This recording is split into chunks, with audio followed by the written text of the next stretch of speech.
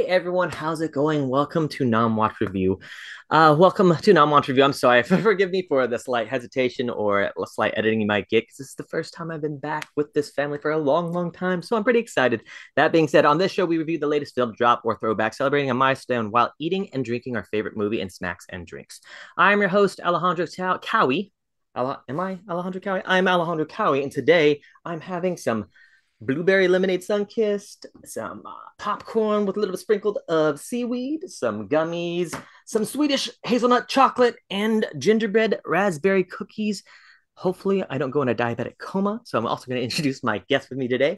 Derrick, please introduce yourself, my friend, along with what you're having with us today. Hello, everyone. Uh, I'm Derrick Murray. I do not have a menagerie of snacks, uh, as Alejandro does. He is he's out here just eating the house, just getting the whole house in the woods uh, on his little tray table. Um, so I, I'm I tried to be a little sweet without you know kind of breaking my, my diet. I'm I'm trying to stick to my resolution. So I I made some delicious chocolate protein pudding, uh, made out of protein powder and uh, some peanut butter. So stirred that up.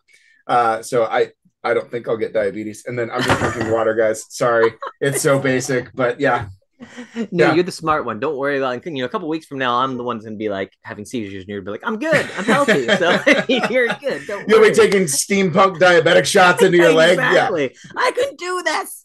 You call me Hansel. No, but anyway, that being said, I'm gonna introduce the other awesome individual. Toni, introduce yourself, my friend, and what you're having with us today. Uh, so I am not at all being healthy. Um, I'm just trying to live, man. So yeah, so tonight it's a Domino's night. Yes. it is pizza. It is wings. It is a 20 ounce Coke. So yeah, we are not at all thinking about tomorrow. So yeah, that's where we're at over here. You know, like I gotta tell you, B movie and Domino's Pizza is like the best combination. Like you really cannot go wrong there. True it was story. pretty sweet. I'm not gonna lie, because I did watch this movie like right before. So like I had to like pause it only to go get my delivery and then come back in and then resume. So like, yeah, it's been a pretty sweet night so far. Heck yeah. I love Heck it. Yeah. So uh, just once again, guys, today we're talking about the uh, film Hansel and Gretel 2013 version. Uh, but uh, let's see here. Before we start, you may notice that we have a fundraiser going on. All donations will be going to the LGBT Community Network. The mission of the LGBT Community Network is to enhance the well being of the lesbian, gay, bisexual, transgender communities by preventing activities, programs, and services that create and support community, empower community members, provide essential resources, and embrace, promote, and support our culture diversity. Um, so, along with this, here, with that awesome mention of the fundraiser here. I Want to make sure what we're outlining. Sorry, last point. Anyway, so I am getting sidetracked here with my own self confusion. So we're gonna go ahead and touch base on the popcorn bucket ratings. Uh, Derrick, what did you rate uh, this popcorn bucket rating for you? Yeah, so I, I said this off air, but I'll say it now. Uh, inside of me, there are two wolves, uh, and one of them uh, is a film critic that can recognize that this film is objectively bad. Like this is a this is an objectively bad film. Uh, the other one is the straight up audience moviegoer in me that's like, I don't care about any of that. There's a lot of fun to be had. So I couldn't quite figure out which wolf. Yeah, thank you. I couldn't quite figure out which wolf was going to win. Uh, so I landed somewhere in the middle, uh, and I went with a three out of five. Right on, right on. Uh, Toni, how about your rating, friend? Uh yeah, so um similar situation. This movie is hot garbage, complete and total, unmitigated hot garbage, but it is such fun garbage. It is delightful garbage. I it, it's just it, it scratches that itch that I didn't realize I was feeling. And immediately after I was done rewatching this movie, I went and started looking up clips of Ernest Scared Stupid. Yes. That was the last time that I Yes. I had that particular itch scratch where I'm just like, this is just fun. This is yeah. not going to win any awards. It's not going to stand up to any kind of real postmodern analysis at all. But I mean, it's just fun and silly and schlocky. And that's okay. That's fine. Not everything has to be high art. There's something quite liberating about the fact that, you know what, you can just have fun with a movie and that's yeah. okay. And that can be the extent of it. And sometimes you just want to throw hot people into leather and buckles and give them things to shoot at. And that's okay too. So, yeah, uh, firm three out of five. From 305. Okay. Okay. Oh. I, I, like that's a solid analysis of hot people in leather buckles. I'm in. Let's go. Give me my Domino's. Let's make this happen. so here's the deal. I'm going to be like the sucker of the audience here. Um, I actually gave it a four out of five. Now, here's the deal.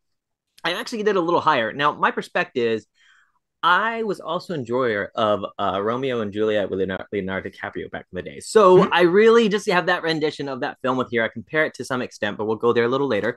Um, we touch base there, but I'm going to actually start off with you, Toni. Again, uh, how are you first introduced to this film? What was, uh, you know, was it in theaters? Do you remember? And if not, no biggie. But what is your memory of your first introduction of this film and your initial vibes? 2013 that means that i definitely would not have seen this in theaters and that i would have in some way or form i'm trying to think where where was movie gallery still a thing i know that was yes. the, that yes. was firmly the end of like netflix you know like basically just you know drop kicking blockbuster and so movie rental places were few and far between i feel like this was a movie rental for me or maybe this was or you know what it might have been um 2013 I would have already been out of college. But uh, while I was in college, um, my student union had a thing called Market Wednesdays, and there was a guy who would always show up with like literally a van full of uh, new and used DVDs. So then I got into the habit of once a week kind of adding to my uh, movie arsenal. In fact, now that I realize like 2013, yeah, this is exactly what I would have been doing. Um, I wouldn't have seen this in theaters. I would have waited for it to come out on DVD and I firmly would have added this like every Wednesday, even though I'd already, I just already been in a habit of like every Wednesday, I'm going to buy a movie and it's going to be a new movie that I haven't seen quite yet. And maybe the following Wednesday, I go back and resell that same DVD to that guy with the van. I'm not sure. um, but yeah, I, I, yeah, so that feels right to me that it would have been something that I would have waited to see on DVD. Um, I also was at that point huge fan of Jeremy Renner. Um, Avengers would have come out in 2012.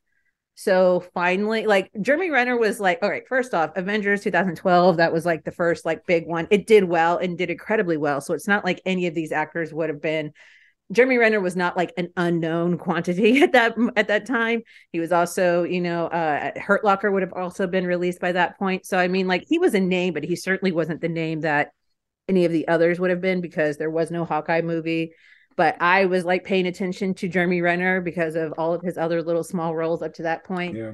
And so when I saw like, oh, it's a movie with the hot guy from the Avengers starring him and also the hot girl from that James Bond movie, hell yeah, I'm there. So I, it, this was 100% a superficial. Those people are hot and it's about witches and i'm also getting a little bit into steampunk at that point and it's a very steampunky vibe so yeah this would have just been a nice little confluence of like all my little interests at that point so yeah that's how i remember uh first uh seeing this movie Heck yeah, right on. Heck yeah. Uh, Derrick, how about you, my friend? Uh, did you see yeah. this theaters at home? Yeah. Um, so, it's so funny that that Toni keeps bringing up hot people because even the witch is hot because it's Famke Janssen. Like, like, like even even the witch that's supposed that's supposed to be rotting like from within is like another Bond girl is yeah. like stupid hot. Yeah, and another Bond girl. Yeah. Uh, probably one of my favorite femme fatales uh, of all time. Like she is just the fact that she actually broke Pierce Brosnan's ribs is just amazing. I love it so much. Um, yeah, it's so good. I love it. Uh, anyways, that's totally beside the point. Sorry. Uh, I go down rabbit holes when it comes to actors when you mention stuff like that. So, um, yeah, I I actually think I saw this movie in theaters. Um, I I was a pretty big theater goer. Um, I, I mean, obviously, I still am, but um, I for most of my life have been a pretty big theater goer. So if you if you sell me something like this that's kind of this high concept, you know, has a good trailer, um, you know, has hot people in leather, like like I, w- why would I say no to this? Like, uh, uh yes, I'm in hundred percent. So I, I do remember seeing it in theaters. I do remember really enjoying it. Um, I wasn't as much into film criticism or film analysis or film study uh, as much as I am now. So I was really just I, I, was the target audience for this movie when it came out 100%. Um, and I, I remembered I really enjoyed it, and probably so much because I actually used to do a very similar thing, Toni. Not from a guy in a van down by the river, um, but uh, I did. I did used to go to like Target or Walmart um, at least once a week and just what, whatever was out. It didn't matter whether I'd heard of it or not. Like I would just look at it. Do what? Tuesdays yeah. Yep. new releases for it was Tuesday. Yep. yep. Tuesday new releases, and it just didn't matter if I'd heard anything about it. If I if it was a new movie, I just I just swoop it up on DVD. Um, and so I own this one. I actually physically own this movie uh, on on DVD. so um, digital Blu-ray connection. Oh no, digital yeah. whatever. whatever. Yeah. So um, yeah, this is. I mean, this is a movie that I I didn't I don't revisit often and I haven't revisited in a very long time. So watching it now was kind of the first time I'd seen it in a while all the way through. Um and but yeah, I I definitely saw it in theaters. I owned it. Definitely probably bought it at Target on a Tuesday um in in like 2014. So yeah. Heck yeah. Right on. Well, one thing here before I go into the uh, my little introduction real quick here. I want to go ahead and read the comments here. Uh, hey, Q, didn't mean to forget you, my friend here. We're definitely touch base with you. Thank you for always joining us. So Q says, hey, Toni, little wave and hearts there with when I saw this, I loved the dark feel of it. I loved the action, the acting and direction. The special effects were great. Excellent point, Q's, which we'll touch base on those uh, for sure um, in a bit. Um, but the uh, I love this little common connection we're about to all three have right now so I used to work for Ruby Tuesdays back in the day. And I used to do these just long, long, long freaking eight to 15 hour shifts. And sometimes you just got stuck between kitchen, guest, kitchen, and guest. It became it just monotonous going in circles and circles. So after you're done, everything was closed. The only thing open was Walmart. You go to Walmart, and their DVD section had the new DVDs every day at 12 a.m. coming out. And that's what I did. And this was the first one that popped up. I was like, what? Who is this? I said, is that like a shotgun that was like handmade. What is that? I was just like just tripping out. It was looking great. So picked it up. I'm gonna be really honest with you. Watched it, fell asleep, and put it back in my collection. I probably watched it twice, you know, within the next month. I thought it was great, but I went back to sleep just to really think about it. Um, I don't know. It was weird. Like it was good enough to get me out of my little monotonous thing real quick and get me back to like stuck in the fantasy, which I enjoyed a lot. Uh, which actually had the you know twisted the uh, going into the concept of the Brothers Grimm concept of it, and just you know just the approach with uh, like like Q said, the style, the special effects, and honestly, I didn't expect to uh, be impressed with that much blood and gore. Which initially, I guess, um, in the first um, take of this or the promotion to Paramount, it had like 60% as much blood and gore. And they were like, nah, you can't do this. You know, just take this down just a notch a little bit. So I was all right, cool, whatever. So initially I was actually really liking it. Um, I will say I feel like this film was a little ahead of its time in a sense, uh, because I say this, I think the film would do better now, if that makes sense.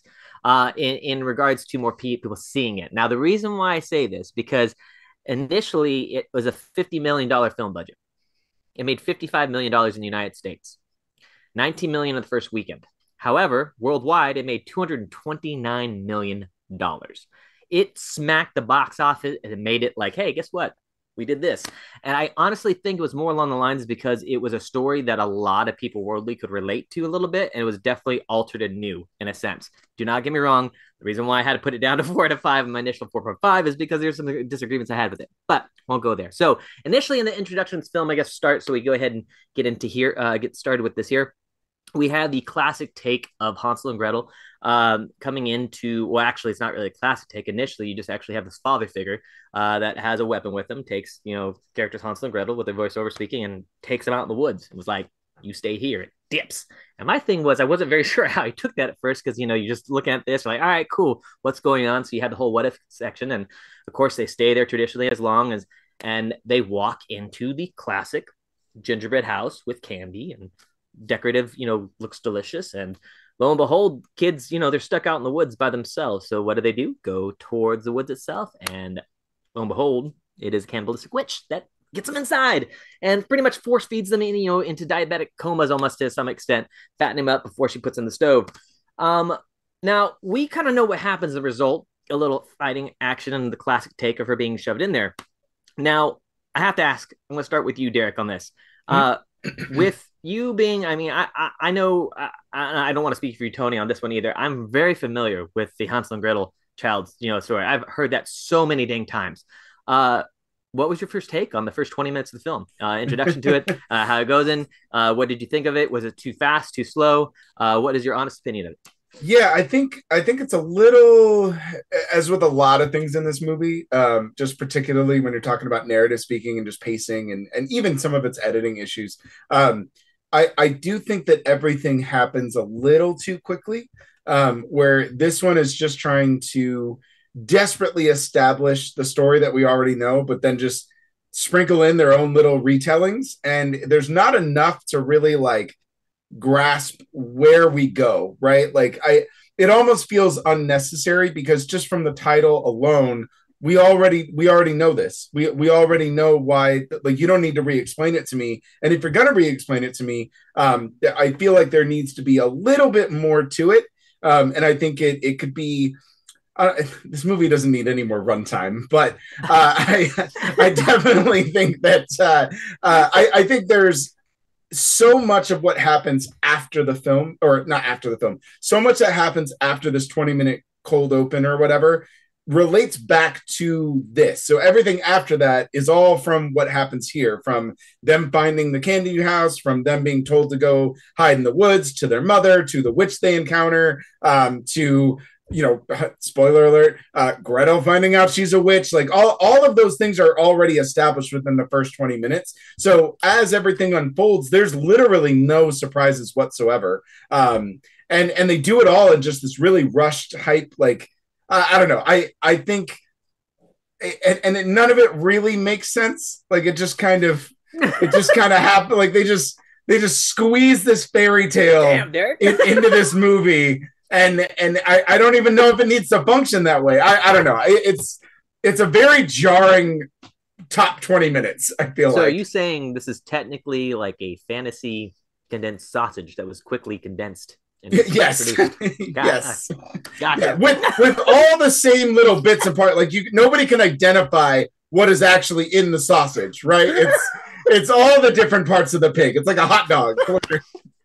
no one knows. No one knows. They just it's just got a shape, and then yeah, you got to guess. But yeah. Okay. Okay. So Hansel and Gretel, mystery sausage. Take a little bit. I got you. I got you. All right, Toni. I'm going to uh, um, hand the hypothetical sausage to you and see your take on the first uh, 20 minutes of film. Uh, take lore on it, concept, design, um, uh, you name it. Go right ahead for it. Yeah, I wanted to really respond to something you said when you were like, I feel like it's ahead of its time or that, you know, it would do better, you know, now than it did, you know, back then. Mm-hmm. I feel the exact opposite. If this okay. were set like even just like 10 to 15 years earlier, like it would have killed. Um, and if it was set even 20 to 30 years earlier than 2013 i think it would have done incredibly well just because the vibe of it just completely fits in with that it, it, you know we all remember again i like I, I refer back to like ernest scared stupid but i'm also thinking back to like you know the sam raimi you know films mm-hmm. definitely army of yeah. darkness uh, uh yeah 20 yeah. minutes whole like i'm hansel this is my sister gretel like and we're witch hunters i'm just like that's just th- this is my boomstick that's just that's just this this movie's version of that um yeah it, it just definitely felt like this is definitely a movie made by a bunch of film bros who love a bunch of different movies that like definitely in their mind all come together and fit within this you know neat little subgenre. Um and I guarantee they probably also really dug uh, that Sleepy Hollow movie that came out and uh, the Tim Burton one with uh, Johnny Depp and Christina Ricci. Yep. Um, yep. It's got I, a Tim Burton light feel to it. Right. Like, yeah, yeah. They definitely, you know, like the blood is like bright, you know, red and it's like cartoonish and it's mm-hmm. gory. And then even the parts that are like semi realistic. I mean, it's at a certain point you have to decide like is this a cartoon or is it gory? I'm not really sure. Is it both? Possibly. Who knows? But it, it does feel like the movie that the film bros in the back of your class that are like are they stoned? Probably. There's a good chance that they are stoned. Like this is the movie that they would have made. Like yeah. wouldn't it be awesome if we could see like what hansel and gretel were doing like when they were all grown up? Like yeah, that sounds like a pitch, but we're all just like, you know what? He's got a point. That that that stoner has a very good point. I would. Like and so the first twenty minutes, I think, kind of cements that vibe. You know, where yeah, it's a really you know quick, you know, you know, summary of that that fairy tale. And I even had to go back and like I actually I googled the Hansel and Gretel story because I was like, I feel like I'm missing some context from this child's fairy tale. And sure enough, I completely forgot that the reason that they're even leaving these kids in the forest in the original fairy tale is because they don't have lost. enough food.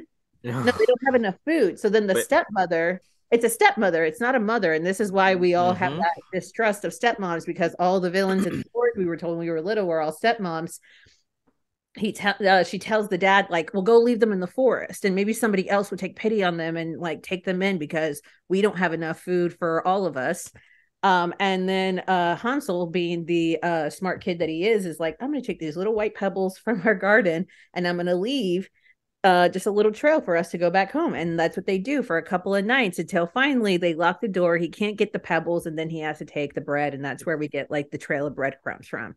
And I completely forgot about all that. And it's clearly not something that's at all addressed in this movie because really they're just really focused in on like two kids, brother and sister. There's some witchiness going on. The witch tries to kill them. There's some candy, which apparently leads to diabetes, which is a complete myth, but okay. Um, and then the gruesome death for the witch. And like it's very broad strokes. They really are just trying to get to uh, which is you know, this is my boomstick. They're really just trying to like you know, get to that as quickly as possible, which I don't know if that's a wrong instinct to have because yeah, you signed up for hot people in leather shooting steampunk weapons at witches. So yeah. Do I really need, you know, an extra two minutes on, you know, the fairy tale and the cannibal witch? I'm not sure that I do, but I do agree. It is very quick. It is very fast. And I completely also forgot about these um the uh the intro titles where it's like depicting in these like storybook like ways mm-hmm. of like you know these different like murders and and and you know uh you know these deaths of the witches. And so that way we're supposed to follow it along. It's like oh of course they become witch hunters and this is how they do it. And like it's really gruesome. It's really ridiculous and over the top. But I think it does go a long way in sort of like saying like this is what this movie is, and if you're not into it, now might be the time for you to yeah. just go ahead and like exit the theater, go find something else.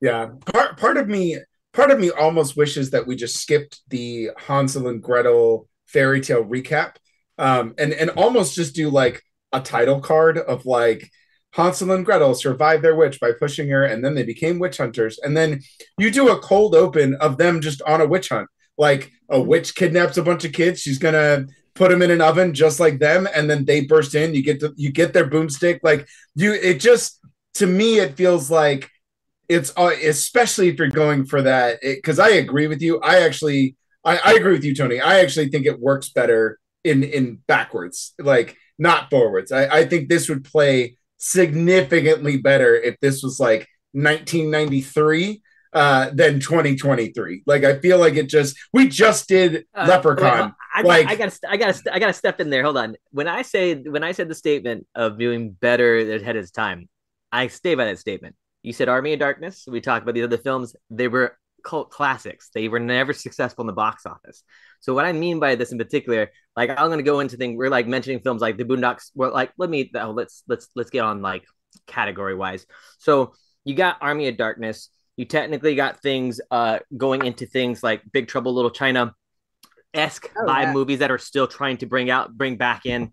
Uh, you got a lot of old school things, kind of like uh, what's what's I'm trying to think of here, Underworld uh, that has already been in a couple years previously. It went into a streak and then it like got in its third one in 2010, 2012, kind of went down the hill too as well.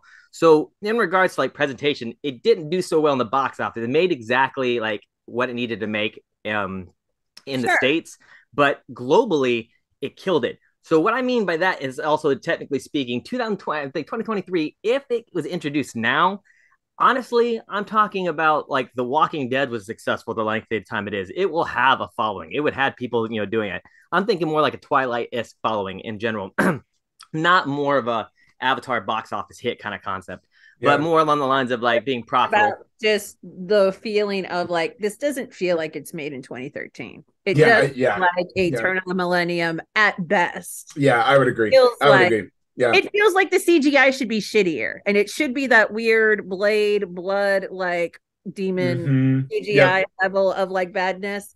But yep. because it's 2013, the CGI is a little bit better than it should be. Yeah. And I think like in terms of like its success, like, yeah, absolutely. It yeah. we picked, I think, any number of like perfect times where it would have done just a little bit better, especially here. But when you mention the fact that it does really well in the international market, that's what that intro, that you know, fairy tale, you know, the summary, that's what it feels like. It feels like, hey, do the folks in China know the Hansel and Gretel? Yeah.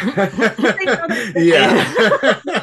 we need to go ahead and like yeah yeah our own I mean, version for it for the first yeah. five minutes and then we're off to the races yeah uh, and I, I think i think too like i, I think it you know because i think some people have gone back and done a little bit of revisionist history and they've changed some of their harsh words like um you know just it it has from 2013 to now in the, in that decade I, I do think people have kind of looked back a little more fondly on it and recognized the stick and um but I, I think to both of your points, I do think that were this 2003 or 93 or 95 or 96 or something in that that era where it kind of feels like that right? It's got it's got 2013 effects but everything else is all baked into this 90s early 2000s turn of the millennium century. So i think you would have a stronger showing now as a cult classic the way that you look back fondly on things like army of darkness and the boomstick like it would play so much better today because it was released in the right time of when it should have existed. Um, yeah, that that's that's where I think it falls. And especially, I'm telling you, man, coming off the heels of watching Leprechaun, this is by far better. By the way, uh, my, my hey, that is Jennifer Aniston's best role portrayal of any Le Femme Fatale lady. Don't. Oh, no, I'm kidding. Come on. No, please, please, please don't make me relive this. I, I, I, I, know, I, uh, for the record, I'll watch Leprechaun with my Whataburger on the side and making sure I'm nice and relaxed. And it's it's horrible. I know it's a horrible. It's so pleasure. bad. It's bad. so bad. No, but it no does. it, it really watching that and then watching this kind of almost back to back. Um, they they they strangely share a lot of similarities, um, and not all of them are good. uh, I know, say, I know, why'd you put I know. and Hansel and no, but they commit the same mistakes, like narratively and pacing wise and editing. Like they commit the exact same mistakes, and and I guess going all the way back to that point, you are committing mistakes that people make in the early '90s. Like, and and it's not. I, I said this on on the show, but it's not just Leprechaun. Like the way they made films between like 90, 90 and 96 is like there's a definitive way that they frame their films, how they build their narratives, um, and and how they edit and how they pace their movies. Some do it infinitely better than others. Like obviously, Leprechaun's on the lower end of the spectrum, but Hansel and Gretel commits a lot. it commits a lot of those same mistakes that would have worked tremendously if this got released in '95. Like people would have ate this shit up in in in America for sure. People would have ate it up if it was released in '95, and then we would be talking about it now with much more fond eyes. We would excuse all of those things and just be like, "Yeah, no, but it's Hansel and Gretel Witch Hunters. There's 90s. nothing else we need to talk about." okay, okay, I okay. That, that's a very valid point, from both your perspectives for 2013 on that kind being. You're, you're right. Yeah, I, I, get that. I get that. Um, before I digress, or before we digress too much into uh to this portion here, real quick let's fast forward. We understand that you know at this point, uh, this lore of Hansel and Gretel is obviously not traditional lore, right? We're in an area that is already modernized some couple things. Um, I will say it was eye candy in regards to leather and weaponry. You're totally a thousand percent correct. Uh, in regards to costume, makeup, it was fantastic. Uh, well, I-, I, thought it was about fantastic about 60, well, it's about 75% of the time. Um, the reason why I said a little hesitant because there was some CGI things that surprised me more than usual. Uh, but with that, uh, with that, with that, um, it, you know, it, was beneficial with majority of the costume and design. Uh, the storyline was sped up um, initially to a pace that you had to figure out initially, like, all right, is this a magical uh, diabetic thing that he has to stab in his leg now? Uh because hypothetically speaking, it was like magical gingerbread. So hypothetically, it was a magical disease, which it was technically not diabetes, but was. So um, we'll just we'll just we'll just go from there. That only affected him one time um, which we'll mention later. I don't know, like it only affected him really bad in the in the ultimate fight. Like for the rest of the time, he was like running 30 miles per hour shooting a shotgun like it was nothing. Uh, so um, running flying brooms, it's awesome. I love it. See, that was badass. Like I wish I saw him fight people in like Hogwarts at the Wizarding World. Like that would yeah. be badass. Like uh, having him on a Quidditch team, and then yeah, that's no, we won't. Let's not mention that movie right now. But anyway, the point is, uh, initial the fighting scenes we sped up. We understand that they are actual badass witches. Not to forget, uh, not to forget to mention that they saved a woman in the very beginning because she was about to be slaughtered. Um, so uh, also, oh wait a minute, Cuba redeemed a point to hydrate. So if you got to drink, my friends, drink and hydrate. Thank you, Q, my friend. Well, you know what? Hold on. I'm drinking a Sunkist here. And so that'd be kind of ironic. So I'm going to actually have some water here because I like to drink sodas. and uh, producer Steph over there is like, I'm going to kill you if you don't drink water because it will kill you. Thank you, Q. We appreciate you, my friend. So fast forward a little bit. We understand now that they're witch hunters. They've saved lives. They really know their thing. The town has hired them because we understand that the sheriff and the local uh, deputies, ironic, which happened to be the sheriff of the Brothers Grimm, with a uh, another film kind of in the early 2000s, which is ironic. But anyway, the point is, um, this town now is using their knowledge and their defenses to protect uh, the fact or find, investigate why all these children are come up missing. Uh, we understand the fact that there's all these crazy witches that don't like to be burned at the stake anymore, so therefore they're looking for the what sounds like blood or heart at the time being of a white witch, which seems to go ahead and prevent them from burning on a blood moon for a certain amount of time. But ultimately, they want to live forever. So at this point, they're kidnapping children left and right. We're introduced to a possible what was it? A is it an org or a golem or what? What is that creature? Uh, Edward, right? Troll. Edward. He's a troll. Troll. Thank you. Yeah, totally wrong on both. The troll. So in his eyes, we're into this troll here, which is massively huge. Um, so we know all this point now. This is probably about 40 minutes of the film. We're only an hour now. We understand that they're trying to investigate where these children are. So, Derrick, I'm going to switch to you, my friend, on this. So now we understand that this introduction of Hansel and Gretel is updated, modernized, steampunk ish. They have shotguns, they have powers, they're anti witches. They understand that they're dealing with children kidnappers, but they understand a little bit or majority of the weaknesses of witches they're hunting. Where do, we at right they, now, my friend? Do they though? Do, we, do they though? My asking is, what, what, what, we feeling here, my friend? Where we at? Do do they? Um, yeah, there's there's um, God, there's a lot that uh-huh, happens here. Uh, this, this this uh the, the this movie just as a whole and especially when you talk about the first 45 minutes and they do all their intros and stuff uh i i do i really like Toni's you know this is just film bros trying to revive like oh wouldn't it be fucking cool if they were like witch hunters? Um and then that was the pitch and then somebody gave them a ton of money to do it and they were like oh shit yeah we gotta oh we have we have to do this. Like we actually have to make a movie out of this.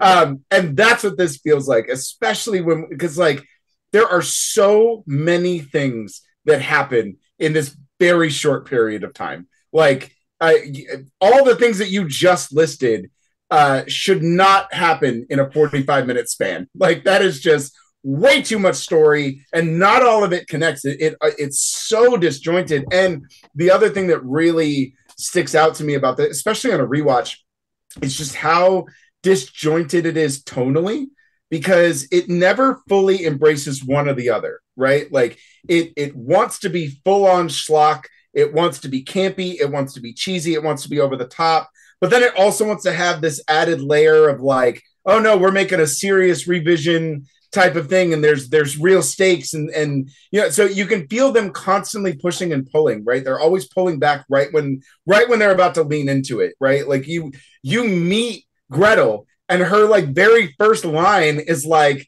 it's something along the lines of do anything and it'll blow your fucking head off. Like that's an intro. Like sign me up. You're hot you curse and you got a badass gun. I'm ready. I'm totally on board. And then they just don't revisit that comp. Like they don't let either one of them really let loose. And i, I think jeremy renner uh, however you feel about him as an actor um, i think when jeremy renner is allowed to kind of do things that he wants to um, and he's allowed to kind of shine he's got great comedic timing. He's got re- he's got a strong charisma when he's allowed to kind of shine in these things.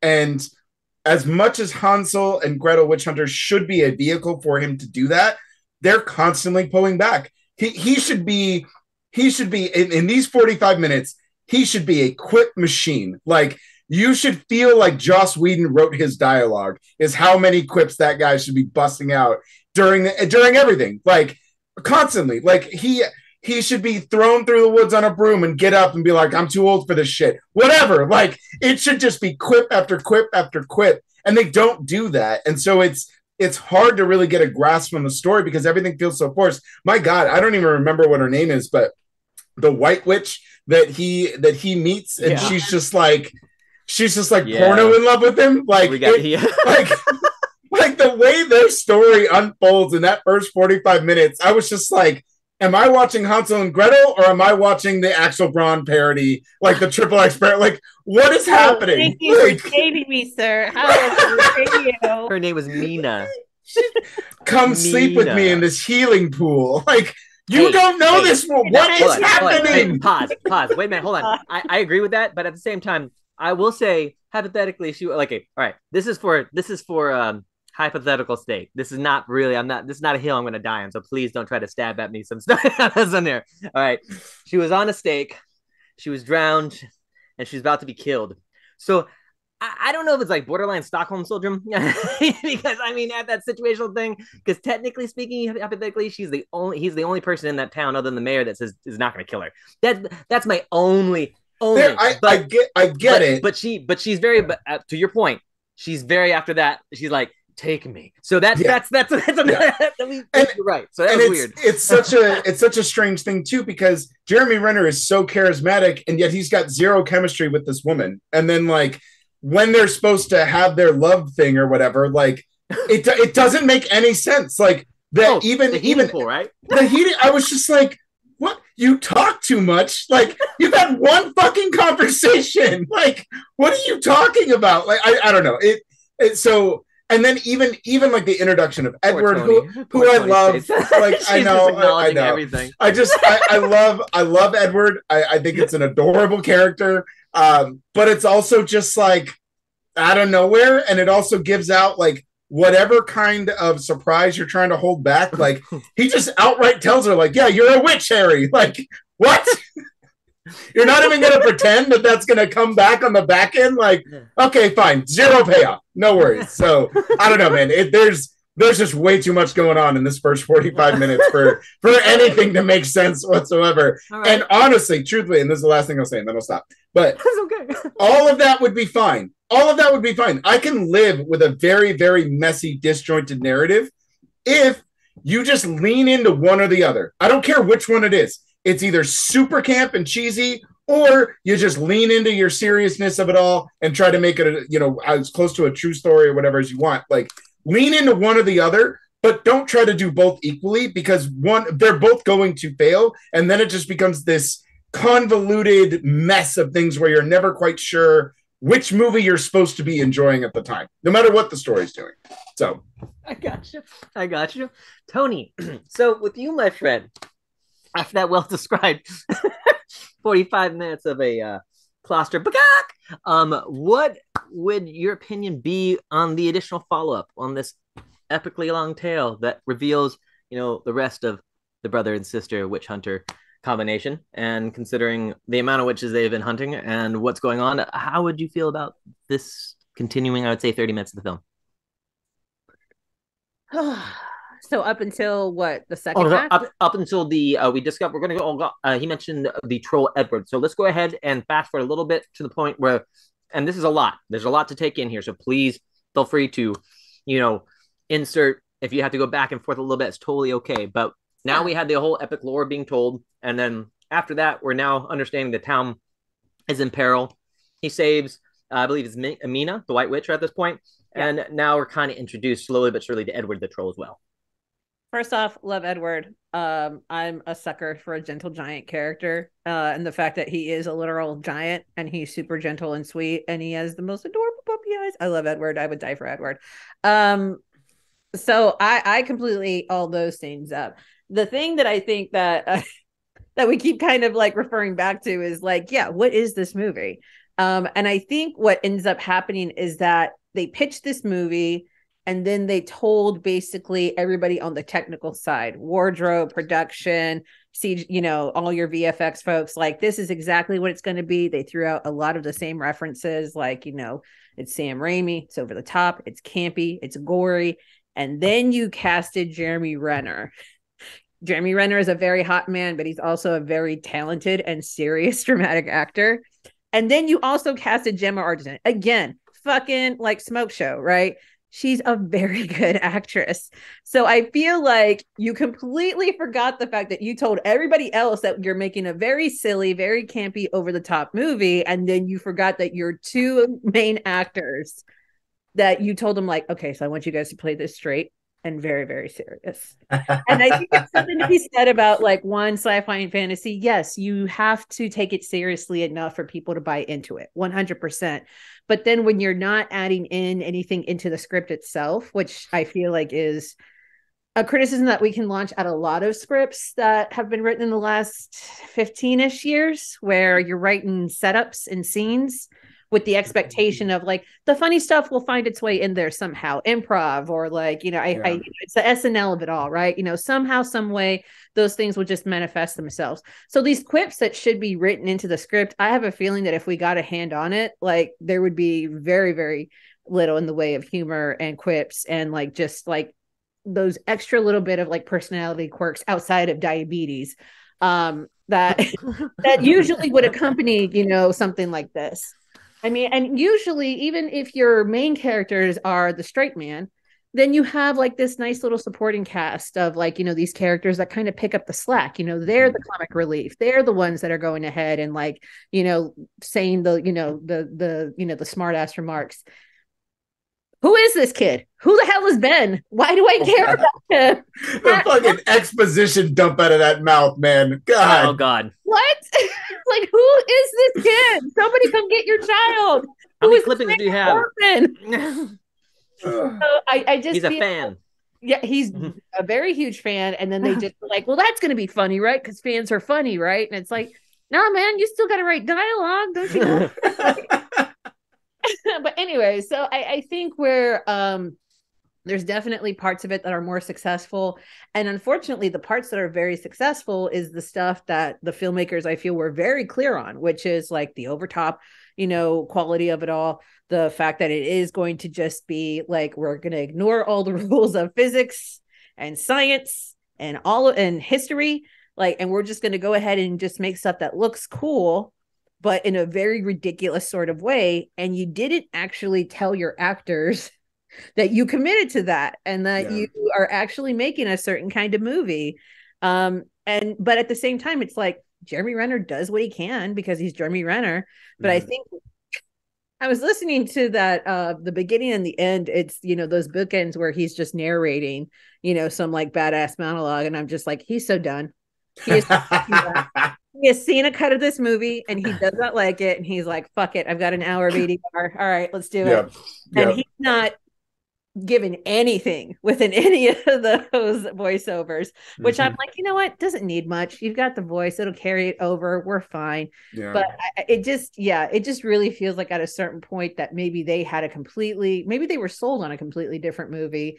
And then it comes out to be this. And that happens sometimes. Or maybe something just kind of shifts and changes, you know, once you put all the ingredients together. I'm not really sure um but i think yeah i i there's more of it that's successful than not and the reason why it's not successful is because you're just putting a lot of disparate elements together not that they're not good it's just yeah. that they're just they make no fucking sense together once you put them all they have no yeah. relation to one another um so when it comes to like you know yeah so they're attacked by these witches all right, mm-hmm. cool and then at a certain point hansel you know and gretel are separated because hansel goes on a broom ride but then we never with the next it's a cut scene to him just like chilling in the tree asleep unconscious. Like all right no explanation there but do we care? Uh, all right. Well he's gonna have sex with mina so that that's why he's exactly. in the tree. That's like, the whole point. we got a sex scene to get to. Who gives a shit about him being in the tree He's hurt. Okay. Like Gretel, like Gretel is separated, and it's like, well, she's got a scene where she's going to get the shit kicked out of her. So that witch hunter in distress, guys. All right, exactly. witch hunter in distress, and that's hot because she gets to we get to throw blood on her and dirt on her, which you know, like, mm, you know, we can sort of have a feminist take on it later, but it just yeah, it just kind of felt like excuses to get to other things. And mm-hmm. it's a shame because it's like I looked up the running time is only like 90 minutes. And I'm like, you know, if they had spent another 10, 15 minutes on just sort of fleshing these things out, adding a few quips, actually carry like there's a whole scene where Gretel and Ben have a whole scene together. Couldn't care less. They had a considerable five minute scene where they're talking about this, that, and the other. And he's just like, Yeah, I aspire too to become a witch hunter. And it's like, No one cares, man. Nobody yeah. gives a shit. We got other things to do. We got a sex scene and then we got a troll to get to. Like, nobody is caring. Move it along, kid.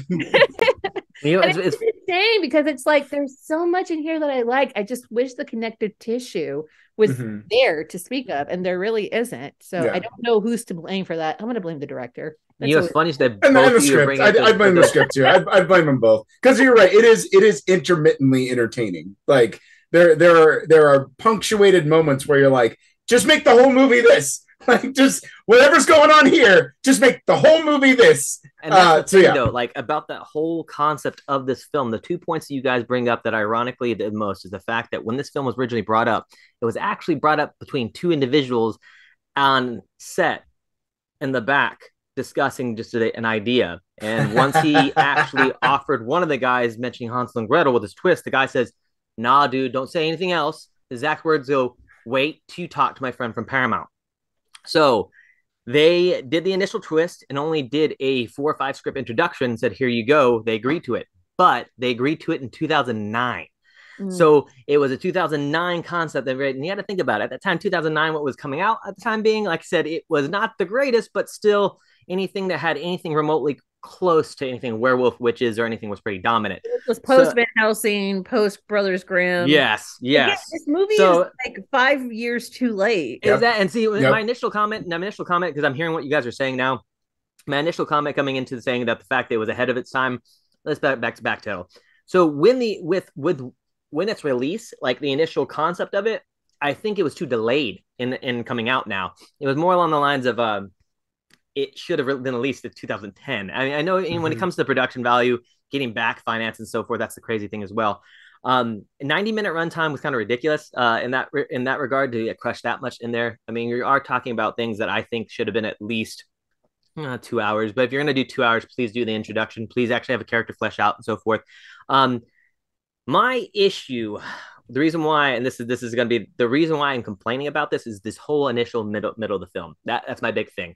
I am a sucker for Edward the Troll as well. Uh, my big thing is, is that he's the big burly guy coming into it. I don't like how he's introduced. Uh, Derrick, you hit it on the head. It's more along the lines of like, "Oh, you're a wizard, Harry." Aha, you know, like literally the concept. You're like, "Hey, you're a witch, bitch." I mean, come on, yeah. like it is what it is, and you know yes, there's the comforting factor. Yes, he is the golden light creature. Yes, he is the lovable thing that keeps things kind of balanced in that because hypothetically speaking, you have that epic battle between somehow 18 witches of the pyre and this thing's discussed and they have a gatling gun machine gun that was interfering with the holy white witch water and taking things out and i'm so pissed that none of those witches did more damage than they did. They're all rocking out dude. They look like badasses. It kind of gave me the whole like dark crystal vibe and labyrinth vibe as she's walking through and they're like all the witches are like we're gonna eat ya! And i mean all the gnarly things like it seemed like it was about to be an epic battle. I was like this is gonna be badass and then it was just kind of like conveniently that the witches didn't know how to fight back and they were trying to bite and claw and not use actual magic so I, I mean, honestly, that is once again, I'm a little uh, that that's this is honestly this would be my biggest gripe of the film. This is the reason why it's four out of five. The reason why I didn't get five out of five, like I'm a sucker for the lights and sounds, and honestly, when it comes to film, I'm the dumbest person when I'm on the screen. I'll look at you, say, "This is fantastic," and I'll watch it a thousand times, and probably four or five years from now, I'll be like, what the hell was wrong with me? So, yes, as in for a lover of films, anything shiny, sexy, blood and gore, hypothetically speaking, lover Army of Darkness, I love this film. However, a lot of mumbo and jumbo was going on here. Yeah. To the point where it felt as if they were trying to find the biggest important things of very important sci-fi or fantasy films in the past. Find a big lovable character, find two hot people, give a mystic connection to the ultimate being at the end. They were never really orphaned. They were saved. It was a lot of classic things that were, you know, you know, portrayed into it that seemed to be kind of pushing like a mudge podge of a uh, collective story tale. The well, a, it's it's a check the box is, yeah, is how yeah, it feels. Where they yeah, and and yeah. uh and uh what what's that kid's Ben is that I see I can't even remember his name. Yeah. Uh but the but Ben gear techie. Mm. Ben Ben is a check the box. He's he's the guy in the chair. He's the you know you know like he's that. That's what he is. He's a check the box. Mina is a check the box. She's the the unlikely lover who is a witch that Hansel swore he'd never love a witch and now he does. Like mm-hmm. there's no purpose for them to be in the movie other than sci-fi fantasy dictates that you have one of these characters. Yeah. and, and they all feel like that. And you, honestly you, this movie could be a solid 90 minutes. You could cut both of those characters out and the movie would be virtually unchanged. Yeah. just it would it would function almost exactly the same. Kind of reminds me of a, uh, a mid 2000 dungeon dragon movie. Anyway but I'll go no, into that later. if you go ahead and remove the hansel and gretel title and you get rid of Mina, you get rid of Ben, and you get rid of the whole like fairy tale, you know, that it that it's inspired from, and you make Jeremy Renner and Gemma Arterton uh lovers, you go ahead and check off those boxes and you don't have to go ahead and waste all this time with these other superfluous characters that really don't add much. In fact, we have to create a whole steampunk Gatling gun in order for Mina to have any kind of purpose whatsoever at the end of this movie. Yeah. Um, but if you go ahead and all of a sudden it's like Jeremy Renner and Gemma Arterton, they're you know uh, witch hunters, and you know he, they hate witches. All of a sudden, what happens when turns out that his lover is a witch? What is she gonna do? What is he gonna do? I don't know. Who knows? Like it would, it could literally be almost the same complete movie and we yeah. could go ahead and have almost every single you know ridiculous scene in it including the sex scene including the attraction including some of these like you know um moments where and i do like their chemistry together. I see why they're paired up but it just kind of feels like okay if you're going to make your there's a reason why we always focus on romantic characters because yeah like a romance subplot always like fills in the time. It we're supposed to feel something. It's supposed to give us additional stakes. Does it eh, uh, I don't know. Like, mm, who cares? Um, I guess she's hot, so I guess I care a little bit, but you know, whatevs. Um, so I, yeah, it just feels like you're if you're gonna go ahead and have a brother and sister as the leads, like you have to either spend additional time, which means you need additional money, or you have to focus a little bit more on your script in order to make sure that you're still checking these boxes. So that way we at the end at least are like you know what? That was more enjoyable than i thought it was going to be. And you know what? It's a three and a half out of five. Good for yeah. it.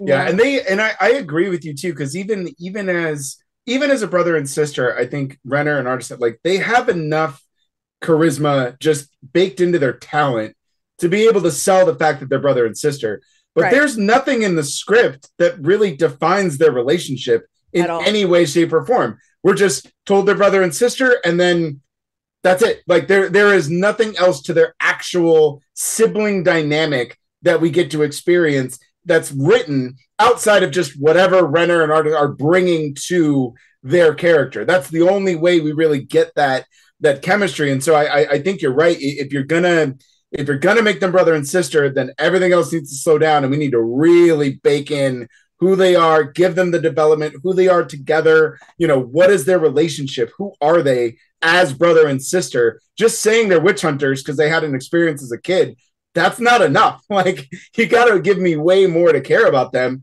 And uh, additionally, I love the idea. Like, make them lovers. Like, you can even do the Hansel and Gretel thing, and they don't have. You could get let Jeremy Renner give a voiceover and be like, everyone thinks they were brother and sister, but they're not. They were actually childhood friends who grew up to become lovers. Like, done, done. You're, all, you're already changing the story, so just do it that way. Cool question for both of you two on the on that note. If if the plot was changed to where they got rid of two characters, maybe linked that up stuff and made the two main characters instead of brother and sister lovers, would you guys move it up to 3.5 out of 5? I think or there has to be more that has to be done. We're we're opening up about 15 20 minutes of scenes that are yeah, yeah. no, 100%, 100%, yeah. So yeah. who's to say what those 15 20 minutes would have actually been filled up with because if if all we're doing is just removing 15 20 minutes mm-hmm. now i've got a 100 minute movie like uh-huh. Yeah. Or, I'm sorry, a 70 minute movie. So, yeah, 70. Yeah, yeah, 70. Do I, yeah. do I do I care at that Yeah. point? 70? yeah. I don't know. I've seen 70 minute movies that I care Mhm. about. Like Do you I- think it would be a quick fantasy flick that'd meet the expectations? Because like you guys made very valid points on like check mark boxes. So hypothetically speaking, let's see here. So we got five more minutes, and we'll touch base on this real quick, and then go into last minute opinions. So let's go on to say here because you, Derrick and, and Toni made excellent opinions on this. So let's say that it was just meeting the fantasy sci-fi box office hit requirements of Hollywood at the time being. Let's get rid of the classic nerdy character that maybe intertwine one of them knowing technological know-how into two lovers instead, and then possibly keeping the troll, um, uh, debating you know what's going on, but eliminating the whole concept of them being brother sister and accumulating this big storyline of Mina and that concept and putting them just two as lovers, one technologically savvy, the other one both being badasses. Do you think that quick, real quick, 60 to 70 minute film, bop, bop, bop, bop, this is what it's going to be Hansel and Gretel, witch hunters, action fanatics, yeah, and I- then going immediately to, do you think, would that be enough or would still Yeah. more, more have to be happening? I agree because it does depend on what you fill it with. So Yeah. I, I do think that uh, part of me would like to believe that if you were willing to do that, then you clearly are going to invest more in your script to make it a little bit more uh, cohesive Yeah, um, yeah. and and not as disjointed because now you have you have your your focus isn't being spread so much It- it's Mhm. it's zeroed in on these characters because not only are they your main characters but now you have a reason for us to develop them so i i don't know that i would say to make it a 70 minute movie i would probably still push it to 90 but Copy. you have a lot more that you can do with those extra 20 minutes. And if those extra 20 minutes are focused on the dynamics of your leads, now the movie like every, everything just fleshes out a little bit more. Mhm. I don't know that they would choose to do that, but my hope Yeah, is yeah. if if I think if we were fixing it uh, Mhm. and if we were kind of addressing some of these issues, I do think that that would bring balance to just kind of everything because now now now the appearance of Edward has has more stakes because he's Mhm. the only additional character we meet and he's already instantly lovable but you love him even more because this couple is like adopting this little kid like or, Yeah. or giant Yeah. kid in that Yeah, in no, that no, regard yeah, but, totally. But it, but then even his connection to Gretel it means that much more, and his connection to both of them means that. So if he's uh, if he is in peril, if he does become in danger somewhere along the line in this film, it makes way more sense for them to want to go and save him, and vice versa. It makes way more sense for him to save Gretel or save Hansel or whatever it is. So Yeah, I do yeah. think that making those changes and not checking so many boxes because you feel that you have to, um, and then transferring those box checks into things that are more important that can center on them, I, I think that would help. Fascinating. Gotcha. I, that that's very interesting. Toni, uh, your opinion on that as well. And then after that, uh, we're gonna go ahead and do some last minute stuff. Um, and go on. But uh, Toni, what would you uh, what, what would you do some additional changes or anything that in your eyes you definitely have to change to make a possible rating change for you on this? Uh, just hypothetical, all hypothetical.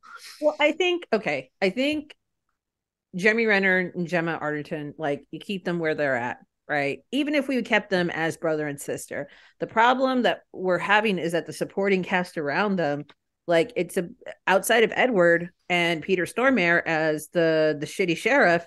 Uh, Yeah. Who cares? Nobody Yeah. cares. Yeah. So even if you take a character like Ben, what why couldn't we have made him, you know, aged him up so that way he's age appropriate, you know, love interest for Gretel. Let's make him the local blacksmith or something that actually, you know, is interested in their weapons and helps them like, you know, trick them out a little bit more. Like again, he's the guy in the chair, he's cute. Like that's fine. Like why couldn't we have done that? Um also with the mayor the mayor is like i i was reading through the wikipedia article and they were just like yeah uh, one of the deleted scenes is that the sheriff murders the mayor in front of everybody Yeah. then the sheriff like just takes over the town. And i'm just like yeah. that's a good fucking point. What happened to the mayor? The whole point of as to why these people are in this little town to begin with. And the same thing with like you know for example mina even if you wanted a love interest for uh hansel like the girl like there's nothing particularly wrong with her, but she's not right for this movie at all because she's not at all mm-hmm. engaging outside of the fact that she's very, very pretty. Yeah. And so you, when you don't have much, you know, within the dialogue and within, you know, the the overall plot, like you kind of have to like create those opportunities for yourself. You need the right kind of person that can just like I always bring it back to Chris Hemsworth in uh, the first Thor movie. There's nothing in that script for him to play with, but yet he's fucking dazzling and sparkling and charming the shit out of all of us. And we were yep. like, more of that, please. Totally yep. on board. Why? Because Chris Hemsworth is a movie star. So if you're going to go ahead and just have like eye candy, you need a movie star, someone who can dazzle and glitter, just like and have us captivated just on pure looks alone and on charisma and on charm and creating those opportunities. Yeah. And I just, yeah, it, it just feels like the cast outside of Peter Stormare and you know the two leads, they're wildly miscast. It feels like Mina feels like she is a girl that one of the producers wanted to bang, and the kid who plays Ben is some nepo baby, and they're favor to some kid's uncle. Like, yeah, yep. your kid in the movie, so yep. we're square, right? Like, we're good. It just doesn't. There, there just does. I don't see what they're bringing to the table outside of just, well, we need a girl, we got a girl. Well, yeah. we need a kid, we got a kid. Yeah. Um, yeah, it's unfortunate. But man, a lot of things that's... could have done. But I mean, at the end of the day, I think it's still a solid three three out of five. It succeeds in spite of itself. Um, it's still fun. It's not something that I'm gonna like choose to watch on a weekly basis. Yeah. But if it's on, why like, not, Toni? No, I'm, joking. I'm joking. I'm kidding. I'm, kidding. I'm kidding. yes. movie. Yes, it is a perfect FX movie. That yep, hundred percent. You're just like, you know what? Yeah, let's fucking leave it on here. Yep. Order the pizza, babe. Like, yep. you know. I was so kidding. I was so kidding. but she's hundred percent right. She's hundred percent right. And and I don't even know how we got through an hour of talking about Hansel no. and Gretel, and we didn't mention Famke Janssen once.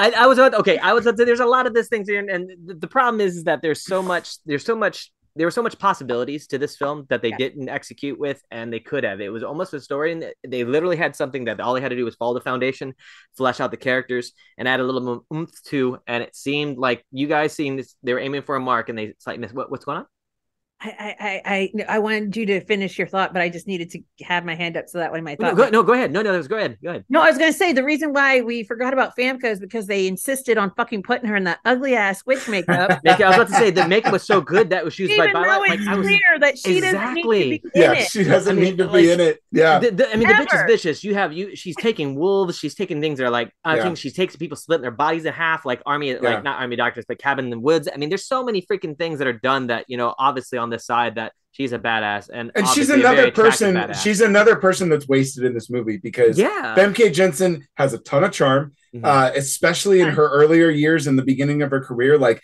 she's got oh incredible comedic timing. She knows when to ham it up. Like very rarely do you ever see Famke Janssen show up in something and not understand the assignment fully. Like she is always very aware of the movie that she's in. And you can tell that she's trying she's trying to do it and the movie is just and the script in general is just not doing her any favors to just let her revel in being this dastardly demonized witch. Like they yeah, they, I, I, don't think any of the witches on top of her. That's not prosthetic. Because uh, no, no, no, dude. That, that all that stuff. It was. Oh my god. See, the cra- the crazy thing is, is that there's so many possibilities for those witches. There were so many tales. I mean, yeah. just that little coven of them that were there from all over the world was just insane. They look badass.